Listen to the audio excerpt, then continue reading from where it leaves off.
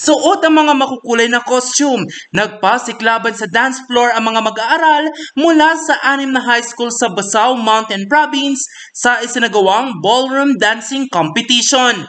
Isinagawa ito sa school grounds ng Basao Central School. Ipinamalas ng mga kalahok ang galing sa pagsayaw ng cha-cha, swing at tango.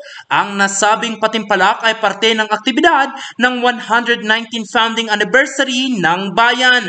Sa bayan naman ng Tadjan Mountain Province, nagtulungan ang mga opisyal at residente ng bayan sa pagpapalit ng bubong ng isang katutubong bahay ng mga taga-Tadjan. Parte kasi ito ng ritual na Sukyab di Binangi o ang tradisyonal na pagtutulungan ng komunidad sa pagkukumpuni ng bubong. Ito'y paghahanda para sa Ayowing Dilambak Festival. Ito'y pagbibigay pasasalamat sa masaganang ani at selebrasyon ng kultura ng bayan. Bukas sisimulan ang nasabing pagdiriwang at magtatagal ito hanggang sa ikalama ng Marso. Jose Robert Inventor para sa Luzon Headlines.